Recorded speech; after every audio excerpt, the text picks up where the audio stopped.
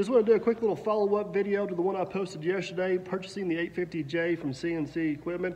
First off, guys, I had no intentions of that video of being rude or disrespectful to C&C Equipment. I just wanted to convey my honest experience of purchasing that dozer.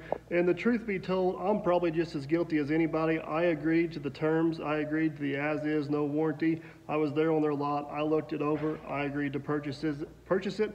The issue I had was it wasn't quite as advertised, but that's neither here or there. So what you guys don't know, and you will see in upcoming videos, we ended up having some other issues with it, and C&C Equipment has reached out to me, and they want to be involved in getting those issues resolved. So uh, if you could, just hold your negative comments, hold your thoughts about C&C Equipment. Let's give them a chance to uh, make this right, see what they got to say about it, and then we'll make a decision from there. So thanks for watching, guys. Stay tuned.